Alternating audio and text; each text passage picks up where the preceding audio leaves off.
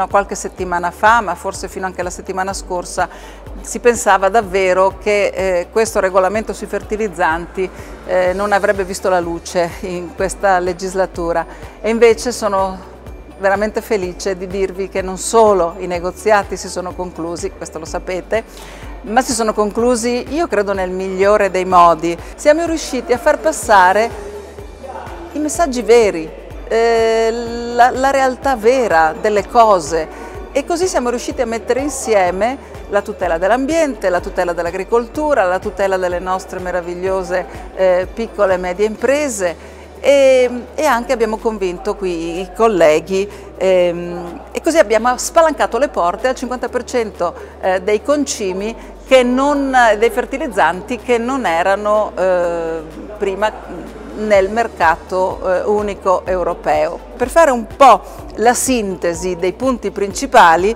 ehm, abbiamo ottenuto di avere un unico limite di 60 mg per chilo per quanto riguarda il cadmio. Sapete che è stato questo il punto eh, nel quale ci eravamo incagliati. Quindi dopo tre anni dall'entrata in vigore del regolamento 60 mg e dopo sette anni sempre dall'entrata in vigore del regolamento, quindi quattro anni dopo i 60 mg, la clausola di revisione.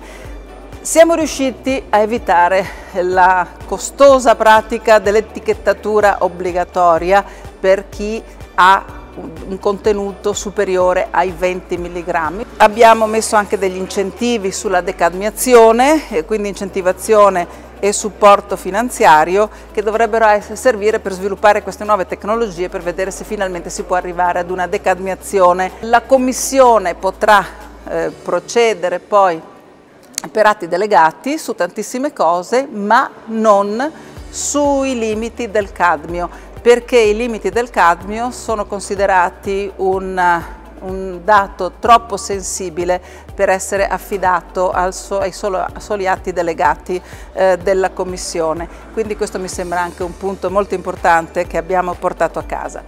C'era poi un tema che era tutto italiano, eh, quello dei limiti del cromo.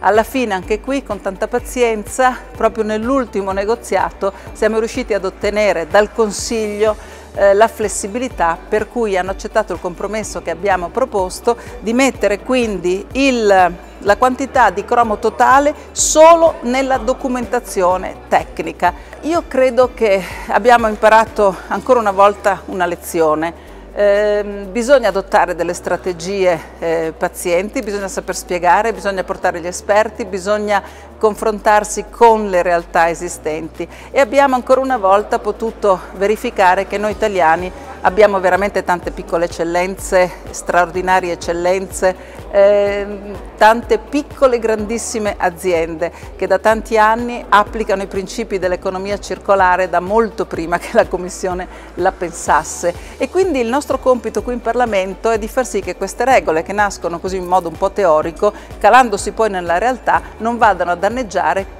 quelle eccellenze che noi in Italia abbiamo in modo così molto... Insomma, dobbiamo, dobbiamo ehm, come dire, eh, preservare la biodiversità delle nostre piccole, piccolissime, medie, straordinarie imprese.